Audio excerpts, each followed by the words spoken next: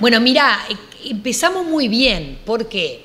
Porque con el discurso de nuestro presidente en la Asamblea General se anunció una rebaja de impuestos, algo que a nivel mundial eh, sorprendió incluso en varios medios de la región, mostraban cómo Uruguay, después de superar la pandemia, cómo logra hacer esta rebaja impositiva que le va a llegar a, la gente laburante. El otro día yo estaba charlando con una enfermera que trabaja en salud pública, en ACE, y también trabaja una mutualista, y tiene dos hijos, ¿no? Ella se hace cargo de los hijos, y estaba pagando como 2.700 pesos de IRPF, y después de esta, reforma que, se va a votar, ahora no más, va a pasar a pagar solo 600 pesos. Entonces me dice, ¿vos sabés lo que es el alivio para mí? De todos los, todos los meses tener más de 2.000 pesos más en el bolsillo. Y lo mismo con los jubilados. Entonces, me parece que ha sido una gran noticia que, que va a ayudar también al pequeño comerciante, al barrio, porque esos dos mil pesos que quedan en el bolsillo de, la enfermera son dos mil pesos que se usan, ya sea para, capaz para un entretenimiento, para ir con su, con su familia a un espectáculo, capaz para comprar una ropa para, para los chiquilines o para lo que sea que se use para ir a un restaurante, significa que hay más gente en el barrio que también va a trabajar. Entonces veo bien la rebaja impositiva, a la gente más vulnerable ya se la estaba atendiendo a través de los planes del MIDES. Veo que Uruguay está logrando crecer. Eh, vamos a tener que sobrellevar la seca, que está muy jorobada, y eso, de eso también hablamos con, el intendente y con, y con CUSA, estuvimos hablando de, lo importante de, de, poder darles a los productores un alivio.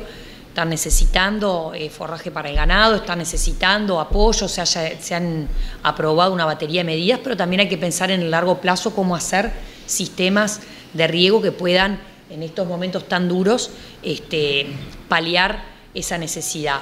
Así que empezamos con la buena noticia de la rebaja de impuestos, pero hay que atacar el tema de la sequía, sin lugar a dudas, hay que seguir poniendo el foco en generar empleos, en lograr que vengan inversiones eh, del exterior, que en eso Uruguay está bien parado. Así que yo soy optimista con la moderación que implica el saber que eh, la seca nos va a pegar. Pero eh, creo que vamos encaminados a poder eh, atender las necesidades de los productores. En la última encuesta de equipos consultores daba 44% para el Frente Amplio, en intención de voto y 23% para el Partido Nacional. ¿Qué estrategia tendría que aplicar el Partido Nacional para recuperar esos votos? Bueno, eh, yo creo que esto es una estrategia que tiene que ser de la coalición entera. Eh, el Partido Nacional llegó al gobierno liderando una coalición de cinco partidos. Esa coalición llegó para quedarse, se sigue trabajando en conjunto y acá hay dos visiones del país y de cómo traer más bienestar a la gente. Está la visión del Frente Amplio y está la visión de la coalición republicana. Nosotros lo que tenemos que hacer es, las transformaciones que está haciendo esta coalición liderada por el Partido Nacional son transformaciones que a la gente le están dando más empleo, más oportunidades, una mejora en la educación, más inversiones, que se están procesando a poco, porque no todo llegó de golpe. Hay que reconocer que todavía hay uruguayos que te dicen, che, a mí eh, me gustaría tener una oportunidad laboral más, o la reforma educativa que recién se implementa y que hay gurises que todavía abandonan el, el, el liceo, entonces hay que darle un poquito de tiempo. Entonces, lo que tenemos que hacer es combatir un relato muy mentiroso que está haciendo el Frente Amplio, donde fíjense que no apoya la reforma educativa, no aplaudió cuando se anunció una rebaja de impuestos, se opone también a la reforma de la seguridad social, no está pensando en los uruguayos y en su bienestar. El Frente Amplio está pensando en cómo volver al poder. Y la coalición republicana tiene que seguir pensando en los uruguayos y su bienestar. Y creo que esa va a ser la manera de lograr un segundo gobierno de la coalición liderado por el Partido Nacional. Recientemente Gandini efectuó una declaración que tu precandidatura presidencial por ahí estaría generando un retroceso en lo que es eh, esa expectativa de ganar la Intendencia de Montevideo. ¿Qué respuesta tenés al, al, respecto sobre eso?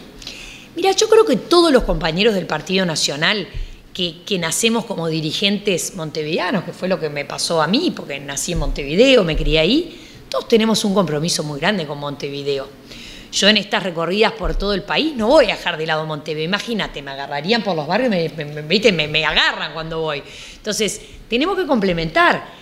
En Montevideo vive el 40% de la población y es verdad que toda la zona metropolitana, San José, Montevideo, Canelones, son dos millones de personas. Yo no podría pretender recorrer todo el Uruguay y dejar de lado a, Montevideo o a toda la zona metropolitana. Entonces, eh, es muy importante para mí, yo a Montevideo lo llevo en el corazón, este, voy a seguir muy presente ahí, pero eso no quita que podamos hacer política nacional. Yo me estoy dedicando a la política nacional porque cuando recorro y converso con la gente y la gente te plantea un problema, al principio te plantean, al principio no, cuando estaba yo eh, eh, en la candidatura a la Intendencia me decían, bueno, me hablaban de los temas del ómnibus, de la iluminación, de, las veredas, de las calles, que son muy importantes, porque te hacen a la vida cotidiana, te cambian la vida, pues son muy importantes.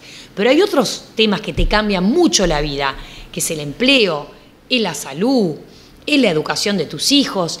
Y esos temas se atacan a través de la política nacional. Y por eso que yo me quiero dedicar a la política nacional, porque yo quiero dar respuesta a lo que te plantea la gente. Y en ese dedicarme a la política nacional voy a estar muy cerca de los que viven en Montevideo, en Canelones, en San José, la zona metropolitana, y quiero estar muy cerca también de los que viven en el resto de los departamentos, y por eso es que le voy a dedicar todo el tiempo y, mi vida a esto, y la verdad estoy, estoy entusiasmada, es un compromiso muy grande que tengo.